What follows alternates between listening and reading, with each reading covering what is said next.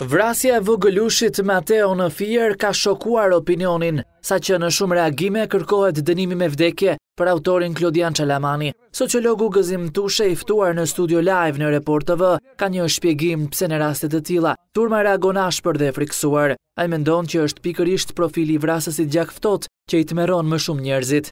Kur e dëgjova lajmin dje për këtë ngjarje që është marrësh jetën e një djali të pafajshëm tetë vjeçar në formë makabre, pa shkaqe esenciale, ajo që kam menduar është që krimi në shoqërinë shqiptare është bërë në përmasa të tilla si e metë e species. Reagimet instinktive të shoqërisë krimi duhet ndaluar, të vendoset dënimi me vdekje për Tushin tregojnë një situatë serioze kriminale Por, zgjidhja nuk gjendet kështu. Ky është njeriu i Neandertalit që këta njerëz duhen izoluar, këta njerëz duhen identifikuar, ne nuk mund të jetojmë në një shoqëri të përbashkët bashkë me kriminelët dhe këtu është përgjegjësia dhe roli i shtetit. I ftuar në studion e Report TV, eksperti i sigurisë Fatjon Softa, për autorë të tipit Çalamani dhe të ngjarjeve kur viktima janë fëmijë, nuk shikon zgjidhjen tek policia, por hedh idenë e një referendumi për të vendosur Duhet apo jo ligj me vdekje. Se këta njerëz po vrave duhet t'i vrasësh.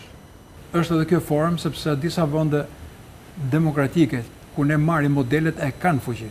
Për shembull Shtetet e Bashkuara të Amerikës që është modeli i sistemit më demokratik në botë. Dhe unë nuk them që kjo është zgjidhja, se nuk është kjo zgjidhja. Po mbasi i ke provu gjithë hallkat e tjera vim te kjo. Ky është një moment revolte. Unë flas si prind. Unë flas si ish oficer policie. Unë mendoj se kjo çështje E nisi sot kryeministri, unë them se duhet ta shtrojë dhe në parlament. Të jetë dhe si alternativë, të diskutohet. Po të bëhet dhe një referendum, në fund fundit mund të bësh dhe referendum. Për sociologun Tushe, tiparet kriminale të një personi fillimisht fitohen edhe nga ambienti familjar. Ai propozoi se duhet të krijohet një polici komunitare, e cila përmes vëzhgimit do të identifikojë personat e rrezikshëm si Klodiani. Janë disa faktorë që po e po e agravojnë situatën e krimit në Shqipëri. ë Sikurse është situata që ka të bëjë me varfërinë dhe papunësinë, është përdorimi i alkoolit apo i drograve të ndryshme, familja e destruktuar, pra ai ka qenë jashtë prindërimit. Këta kriminelë që dalin në shoqëri dhe bëjnë krime të tilla apo të çfarëdo lloji, janë rezultat i deformimeve që kanë marrë në familjen e tyre.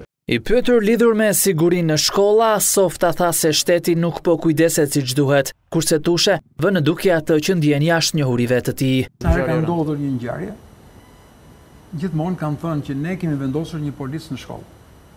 Çfarë do bëjë një polic në shkollë kur ai rrin se thotë kam turnin për të bërë? Shkolla nuk është fasada, shkolla është brendia. A jemi ne duke investuar për këtë brez? Po nuk është një përkujdesje e shtetit? Jashtë kostumit të sociologut, po të më pyesësh që çfarë i duhet bërë këtij njeriu, per, seriozisht them që po, ta paguajë me, me jetën e tij dhe e meriton ta paguajë me jetën e tij.